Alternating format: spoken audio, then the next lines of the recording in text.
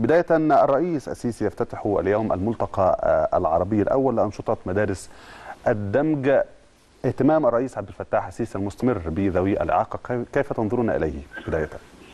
بسم الله الرحمن الرحيم يعني الملتقى بتاع النهارده ده بيجي تلبية لمبادرة السيد الرئيس بأن عام 2018 عام الأشخاص ذوي الإعاقة. نعم.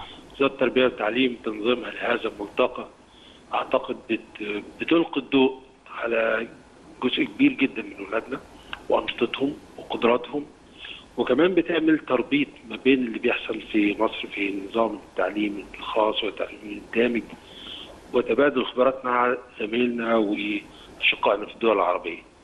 بتتيح فرص للأولاد كمان إنها تدرس قدراتها وتتعرف على يعني زمايلهم من دول ثانية ودي حاجة كويسة واجتماعية كويسة. أنا بصراحة في هذا الوقت بحب باسم كل الأشخاص ذوي الإعاقة. أوجه الشكر والتقدير للسيادة الرئيس لأنه وسط مشاغله الكتير ولسه في سيادته راجع من يومين من الأمم المتحدة لكن حرصه إنه يكون موجود مع أولاده. ده أكبر يعني دليل لاهتمامه بهذه الفئة.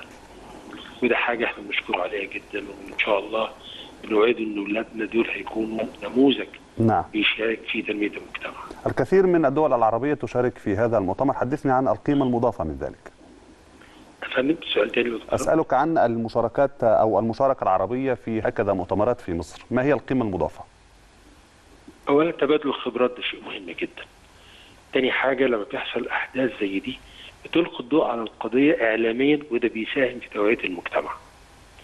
فتالت حاجة الاستفادة العلمية.